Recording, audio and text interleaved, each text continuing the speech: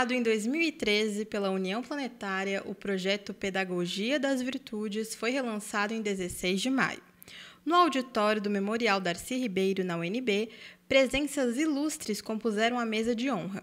Estiveram presentes Jeane Marie, coordenadora do movimento, Dr. Ulisses Riedel, presidente honorário da União Planetária, Simone Bank, reitora da Universidade do Distrito Federal, Marcos Sorrentino, diretor do Departamento de Educação Ambiental de Cidadania, Pedro Pontual, professor e diretor de Departamento de Educação Popular do Governo Federal, e Priscila Almeida, diretora de Difusão Cultural. A reitora da UNDF mencionou a urgência da pedagogia das virtudes na educação superior.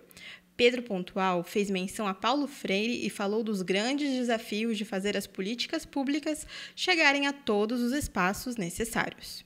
Minimamente, eu estou aqui hoje muito para destacar, do ponto de vista da universidade pública, que falar da pedagogia das virtudes sem realmente contextualizar os sujeitos, que são os estudantes e a comunidade acadêmica como um todo, e as suas realidades econômico-sociais, nós tangenciamos mais uma vez a discussão quando o foco não é especificamente entender de que realidade social e econômica é, advém essa comunidade. É, Paulo Freire, que foi um dos grandes inspiradores da, da educação popular, né? ele sempre é, colocou né, que na formação para a cidadania, né, para o exercício da cidadania, a questão de uma ética universal do ser humano é um elemento fundamental.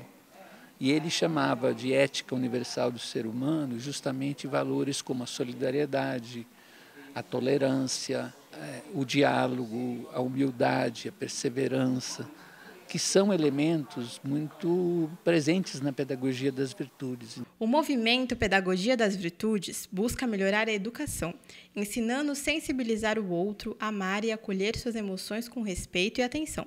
O movimento cresceu e muitas escolas começaram a participar. Reuniões foram realizadas para enfatizar a importância de uma educação positiva. Nós precisamos do século da sensibilidade. Nós foi um avanço para a humanidade, o século da razão.